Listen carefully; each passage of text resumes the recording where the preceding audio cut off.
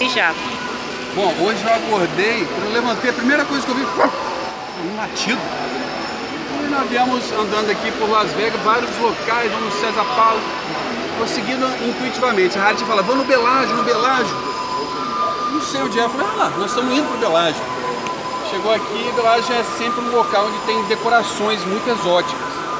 E a decoração do período agora é de cachorros, por surpresa. Então eu creio que o elemental do cachorro, né? Eu estou com a blusa do Anubis. A Harry pegou outra blusa e falou, vai com essa, essa seta mais de galáxia. Eu falei, não, é essa. E agora ele falou, não. Aí quando eu tirei a blusa aí, tá certo ou não tá? Olha aí. Que Anubis, né, é um tipo de canino. Aí, tudo é pertinente a cachorro, o elemental do cão.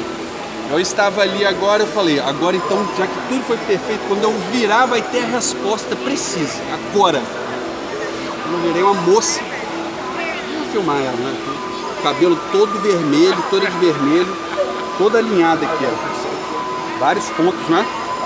Maquiagem. E eu falei, ah, sou no Brasil, ela tem um amigo no Brasil.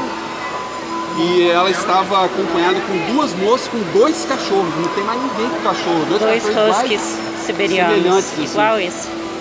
Então foi muito místico o momento, o encontro, o despertar de hoje.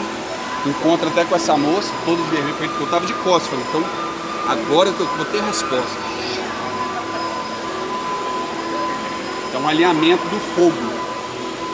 Que o cachorro representa o instinto também. O instinto até sexual, o instinto, né, que é um instinto da pureza do ser humano. Só um pouquinho.